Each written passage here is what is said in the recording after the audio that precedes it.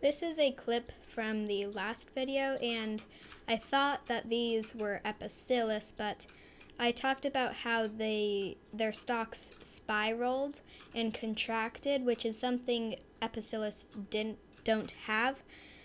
I thought they were Epistylis because I didn't think there there were any other colonial peritrichs that would match, but apparently there are, which would be Carchesium.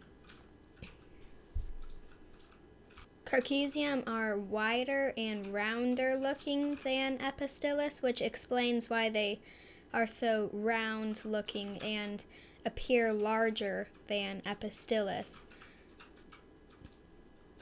Another defining feature of Carchesium is that vacuole. You can see that on all of these organisms there are these small white strings.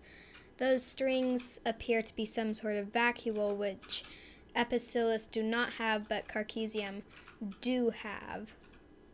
I thought it would just be more effective to put this in a video form rather than um, in the description of the video because I don't think many people actually look at that and what I said was sort of misleading.